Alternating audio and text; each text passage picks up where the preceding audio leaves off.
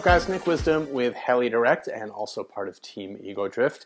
Uh, here today to show you how to do a shaft replacement on an Egodrift motor. Now why, what are some of the reasons you may want to do a shaft and or bearing uh, replacement in a motor? Uh, could just be wear and tear. Um, you know, motors obviously over time, eventually the bearings uh, may need replacement.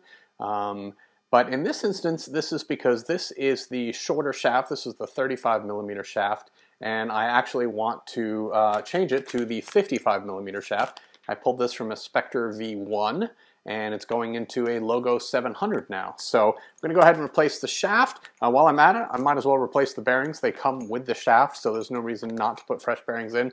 Uh, this motor actually doesn't have a ton of flights on it, maybe somewhere between 50 and 70. Um, so really no real need to replace the bearings, but I'm going to go ahead and do it anyway while I have it open. So uh, a few tools that'll make this easier. You can kind of you know work around some of these, um, but this is a press. Uh, we're going to use this in order to get the shaft out and maybe press the bearings in. Um, we've got an awl. Uh, I have a nail set that I'm going to use to help uh, press the bearings out. This is a set of split ring pliers. Uh, we'll see where these come in handy and a little bit of green thread lock uh, for the bearings.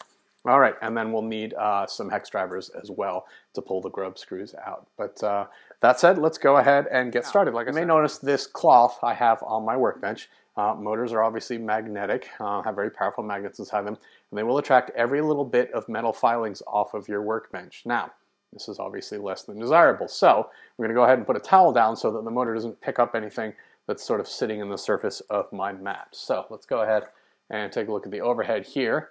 Now there is a little split ring right here. I'm going to go ahead and put these little pliers in here, pull it apart, and then slide it right off. It sits in a little groove uh, inside the motor. So once you sort of press it out, pull it right off the shaft, and then lay it down. You can see it right there. All right, I'm to pull this out, and then there's a little brass spacer here. Let me show it to you.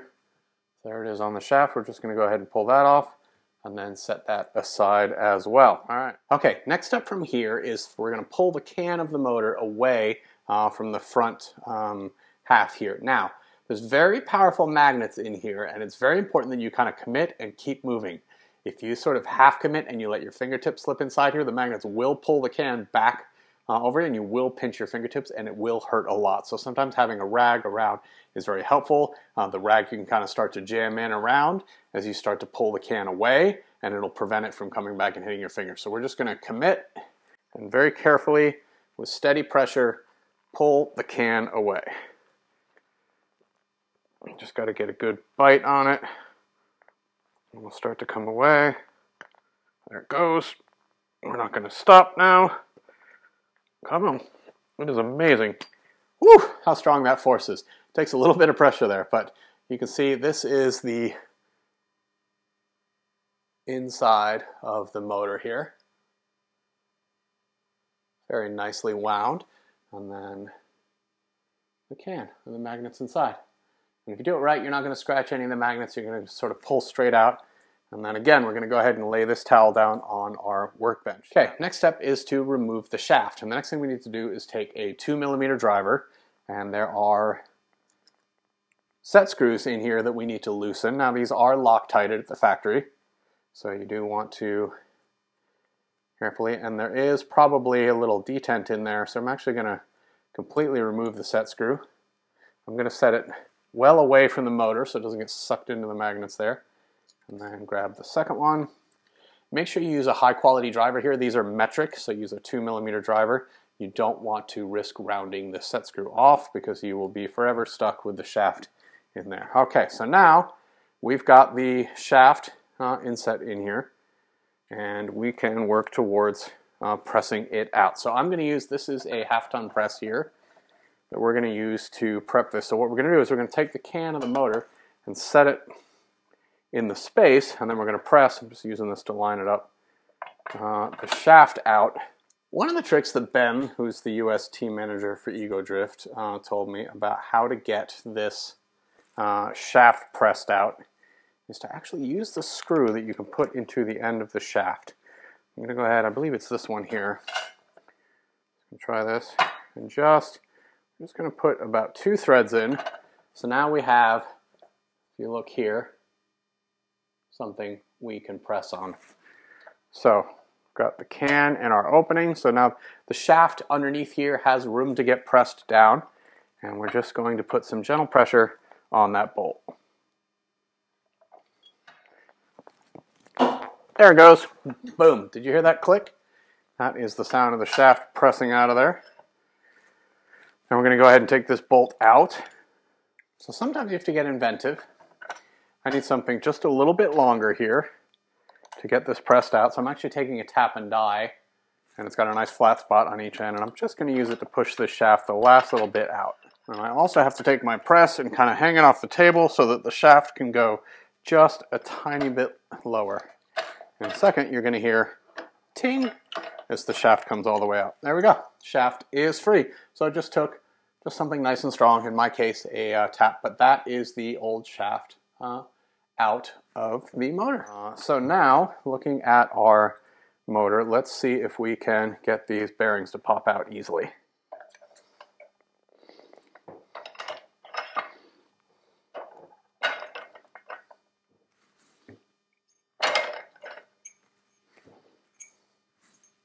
Okay, so you just saw there, what I did is I took the old shaft and I put it gently through the can, rested it on the edge of the bearing, and used my press here to press it out. I did put the uh, same uh, soft cloth there on the press, um, just so I didn't scratch any of the windings and whatnot, gave it a little bit of padding before I pushed those out. So those old bearings came out pretty well. Now, we're going to use a tiny, tiny, tiny amount of green Loctite for this application.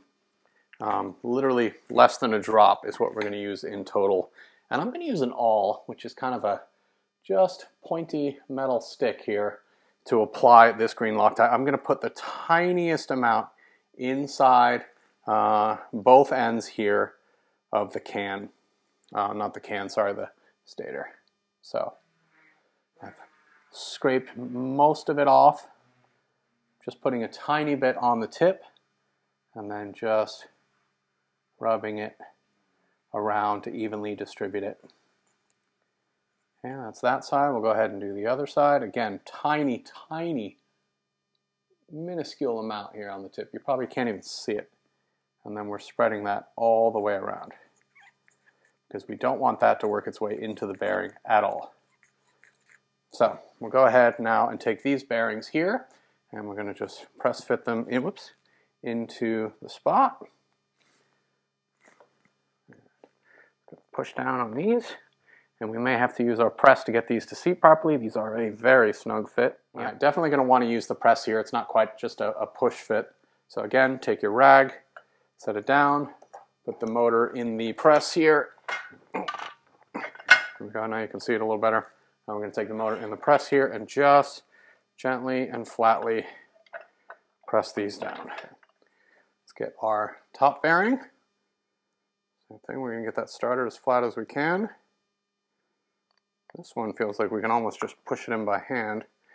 Almost, just a tiny bit of resistance there, so we'll go ahead and press this one in as well. Again, using the old bearing to apply pressure to the new. There it goes. Boom. That is our uh, bottom bearing nice and flush. We're just going to give that one little extra tight push here, but that feels really good. Yeah. Okay, with that, we've got our bearings uh, pressed in. Nice and flush. We can start reassembling. So, I'm going to take the shaft and before we press it back, uh, install it back here, um, I want to talk about, so one of the things with the bearings that you want is that you don't want the shaft to slip in the bearing. So I'm actually going to put the tiniest amount of green Loctite just inside each of these bearings. And I'm going to put just, just a minuscule amount. Um, but I do want the shaft to sort of be permanently attached uh, just a tiny bit because I need to make this removable, right? Um, if you put a lot, it'll be, you know, essentially bonding it forever uh, and committing to this size shaft for a long time. So I'm just going to put a tiny, tiny amount on the inside of the bearing. I'm going to do that for both of them. Okay, so that's ready there. Now we can work towards reassembly.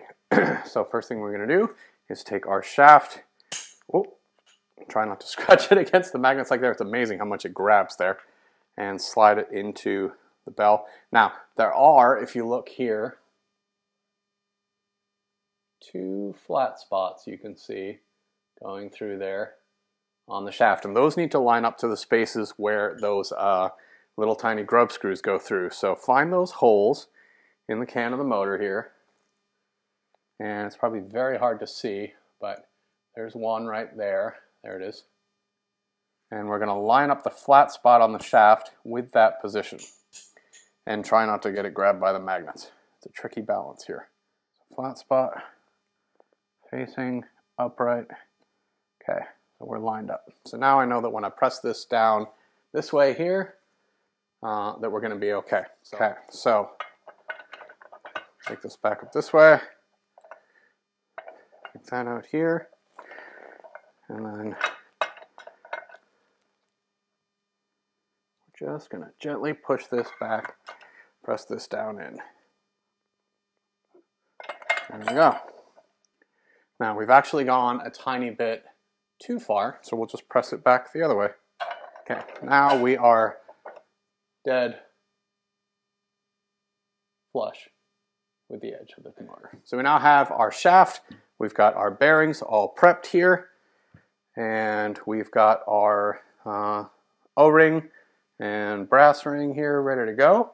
We've got our two grub screws as well. Now I'm going to go ahead and just put a tiny bit of Loctite on these. You could use blue here. I'm going to use just a tiny, tiny, tiny amount of red. And if you're very careful and you just put a tiny amount, I'm actually going to rub almost all of it off, just putting a little bit in the threads, wipe most of it off on the tail. So there's very little on here. And then we're going to go ahead and set these guys. Again, just finger tightening for now. Same thing with the other one. Finger tightening because I want to see what happens when I get the O-ring and all that on there. I want to make sure that everything lines up. And I see the flat spot through the hole. You're checking for that as well. Just going to put a little bit of torque on these, not much. We'll come back and tighten that up a little bit in just a minute.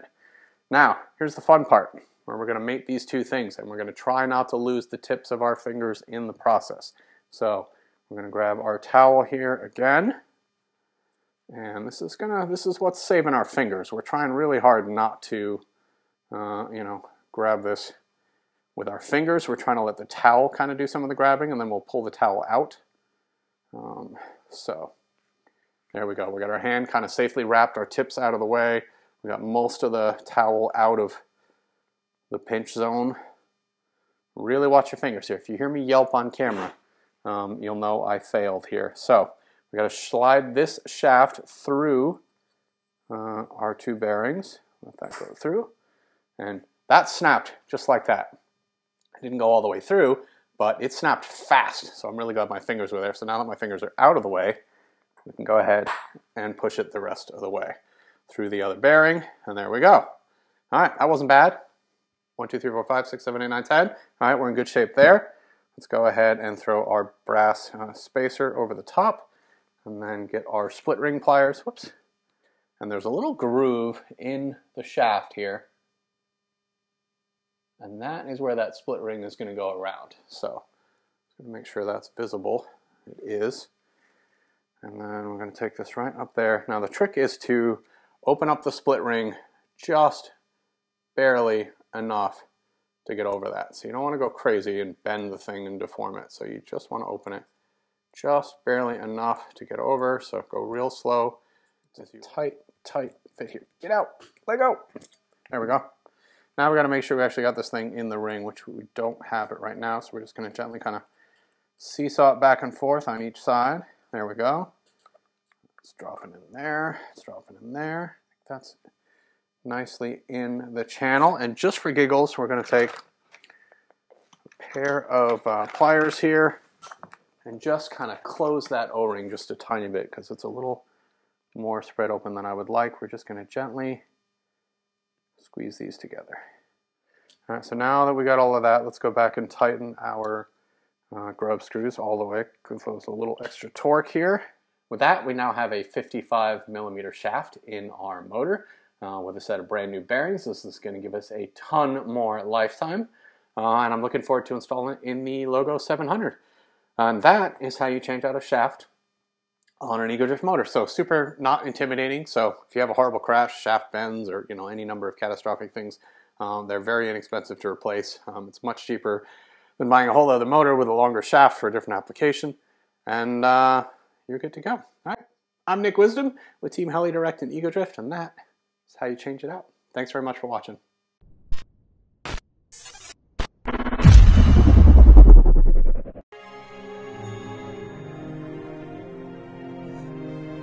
direct.